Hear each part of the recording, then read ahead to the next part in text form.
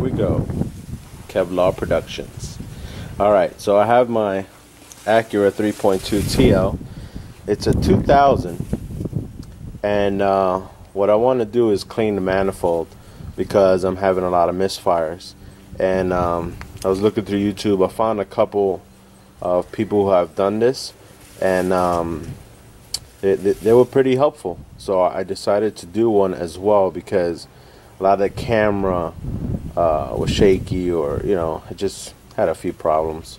You know, but around about you got the idea of what they were trying to do. But I want to kind of zoom in and get everything in detail. So these had uh, bolts on it which what I like to do with my bolts is I like to put a number on them like this one's six and what I do is I go from you know one two three four five. You could do it however you want but that's just the way that I did it. So just to let you know and it's a 10 millimeter uh, socket that you'll need. And um, once you get this thing off you'll see what it uncovers if I could get it off here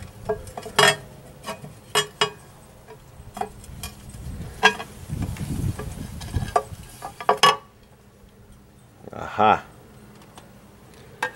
and look at that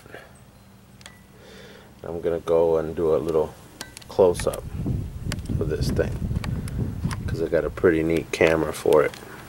My son's camera, I bought him. Alright, so there you go. Look at those those walls full of carbon, you know, and gunk. That's what you want to clean out so you kind of get those misfires out the way. And from what I see, a lot of people were saying that the Hondas and Acuras, some some Acuras, the gasket was put on backwards. But in this case, I see that the gasket was right. But this might have been done previously. But you could see all the the buildup. The oil. Look at that. Now we'll take off this gasket and see if we could salvage it instead of buying one.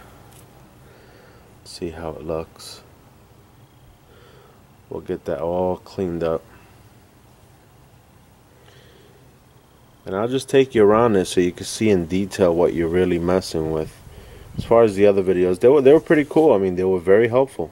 That's what got me to do this. And uh, at the end of my video, I'll give them credit for it. Um, but uh, I just wanted to show you up close. Alright, so let's go and put that aside. Get that out the way. And then we'll start looking in here and we'll see these ports. Whoops, sorry. There we go. And if you look at those ports, that's what you want to clean up.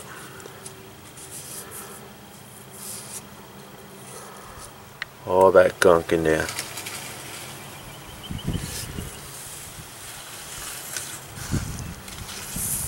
All that gunk. See all that gunk? You want to take all that out. You want to clean it real good. Look at that. It's all carbon buildup. You lose power. You lose a lot of uh, gas too. You know, as far as getting everything clean, you'll have better performance. Now, you could also take these out, which I'll do in another video. I just wanted to do it step by step. And take these. These also have a gasket on the side too as well.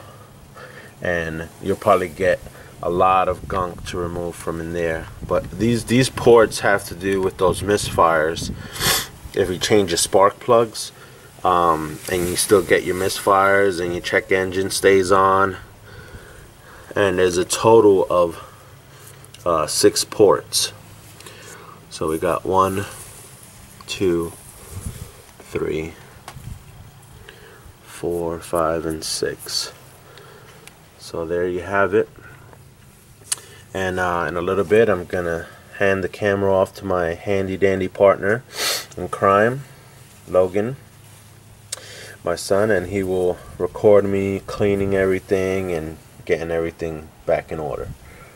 Alright, see you in a bit. Alright, so we're back again with Logan, uh, my camera guy, my buddy.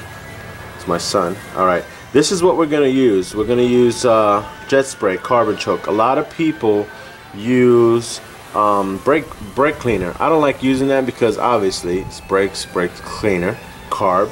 You're removing carbon. So I like using the right product for the right job because it is going to do a better job. Um, so this is what we're going to do. What we're going to do is start spraying this and you'll see it start coming up already. See all that gunk in there starting to come up. Spray your port. Get all that stuff out of there. And it'll start working. Now what amazes me is that a couple of months ago I did a seafoam clean. But seafoam does a good job, but it doesn't take away a lot of the carbon buildup. It's not as strong as it should be. And that's probably due to, you know, gaskets, rubber parts, and things like that. But you just want to get in there and do that. And then I'll come back. What I'll do is I'll start wiping everything and getting in here. See all that? Look at that. We'll start getting in here and cleaning this. Now eventually I'm going to go grab a wire brush and uh, start getting this cleaned up. But you can see already a little bit of a difference.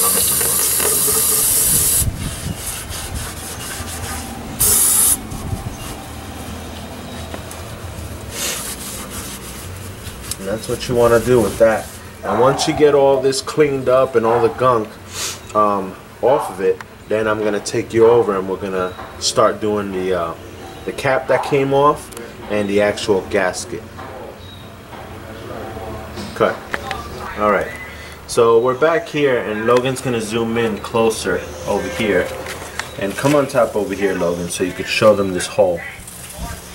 Now what I did was I took a little mini screwdriver, flathead, and you could see in the EGR port, uh, the port, excuse me, all the carbon buildup. And that's what you want to take out. You want to get all that stuff out of there. Look at that. Look how nasty that stuff is. I mean, it's carbon. It's buildup. You know, that's that's what's going to happen. But this is a part of maintenance that people don't do or they don't know how to do. So that's why I'm putting it on YouTube. And I learned a lot from YouTube. So, you know, if I can do it, and I'm not a mechanic, I'm just a home mechanic, I call it. Just work on your own cars if you don't have the money to get to a mechanic or you don't want them to mess up your vehicles. Just go to YouTube. Oh, this is what you want to do. Just make sure all of it's out. Just get in there. And I just did these here. Let me get this one a little bit more. And you just scratch the interior of the walls, go in a circular motion.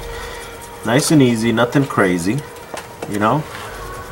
Just, just like if you were cleaning any part of your house or any, anything in your house. And what you want to do is get some of that spray and start spraying this up. Also in here, I took a lot of this stuff out too. Can you see in here, Logan? Mm-hmm. Inside? Real close up. And you just start scratching the interior of the walls and the body and then you take this. Let's see what comes out. Look at that. That's what you want to get out of there. So just want to show you a little bit of close-up of how to clean it and get it all out. You can use any kind of tools you want. Just scrape lightly. Don't gouge into it. It'll come off once you hit with that spray. Hit it real good with that spray. And just go in there and keep on use a toothbrush use anything you can you also want to get this cleaned right here real nice because this is where the gasket sits so you want to make sure that's nice and clean and dry. See that? That's the way you want it to look, like that. All right? So I'll come back with the other parts as I said, and we'll get this puppy up and running. All right, I really had to uh, come back and show you the main port. I totally forgot about it when I started cleaning this out. I want to show you something very, very interesting. Look at that main port, how clogged it is. See that? I could stick my screwdriver in there and there's no type of air coming through. None. That is all full of gunk. This is what you want to get out. I need some light in there, Logan. This is what you want to get out. This is the root of all problems. And you got to open that port back up.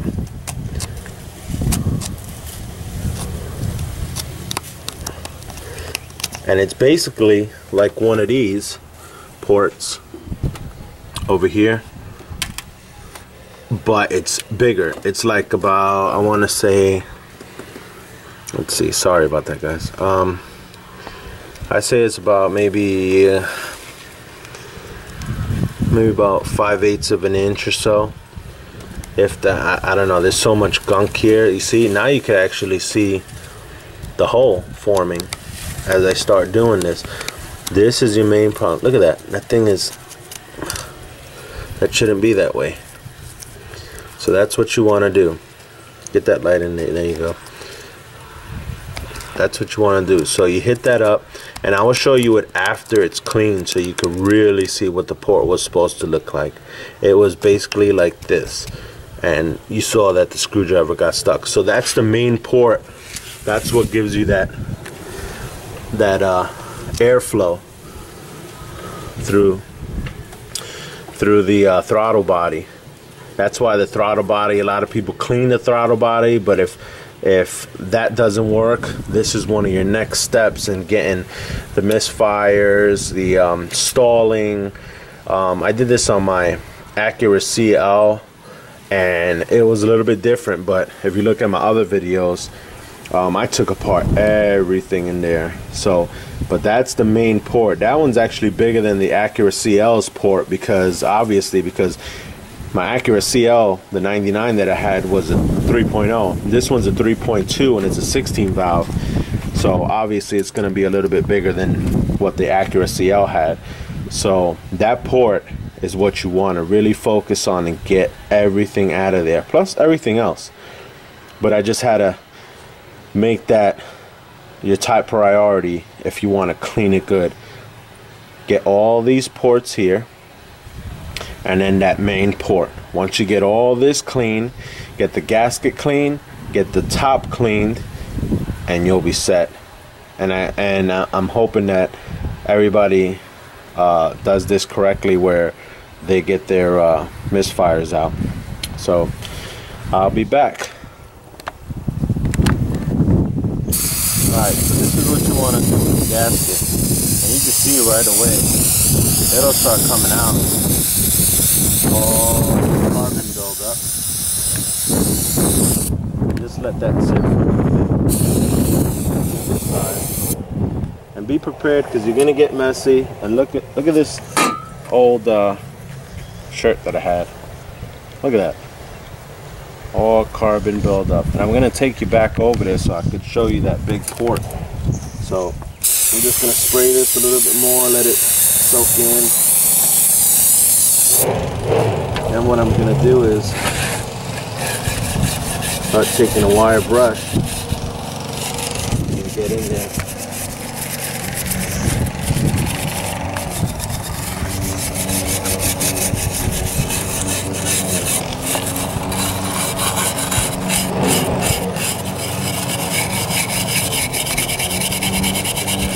You could already see how all that stuff is coming out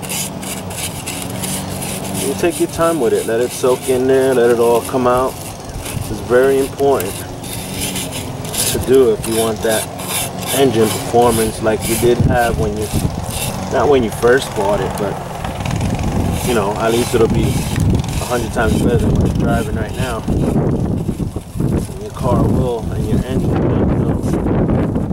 This is not good. And this, just do it lightly. Don't do it too rough. That wire brush could, you know, mess up the actual gasket. So just go lightly. I'm just gonna go over the hard parts because the rest of it you could get with a towel. See that one? That one comes out easy. Towel or in my case shirt. See that? Now this gasket is still pretty good, but I'd say the next time I go and do this, I want to replace it because you can start seeing the wear right there.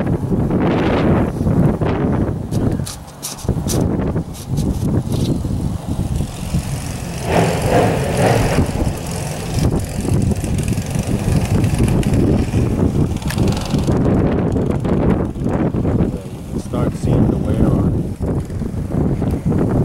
I think uh, soon it'll be time for a new gasket. But right now, it's very easy to get to this, so I could replace the gasket once I clean it if I have to. Uh, it's still giving me some issues, but I think this will be sufficient. So I'm just going to continue cleaning on these, and uh, we'll get back to you as soon as I'm done. All right, I want you to see the process as I'm going through it so you can see what I'm doing. Like I said, I was going to show you in detail. And you can see all the gunk that's coming out of here, all that carbon buildup. You want to make sure you get all this, especially this, because this is where the ports go. And blow that air through the manifold.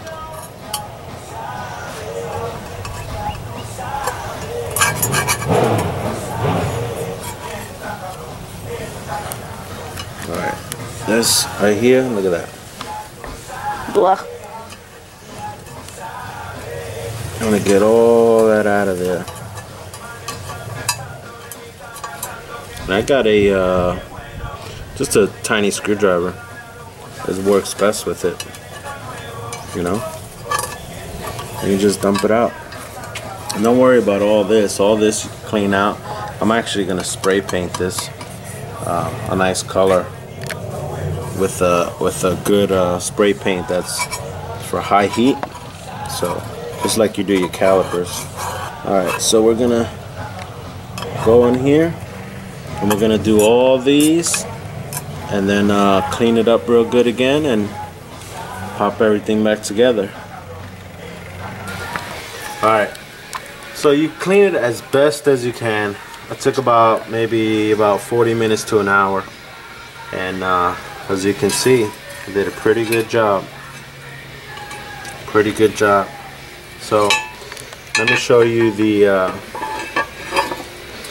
that's the gasket. And then we're gonna go in here. Logan's gonna pass me the camera here. And what we're gonna do is check inside here. You wanna get me that light, Logan? And as you can see, cleaned it up as best as you can. See that?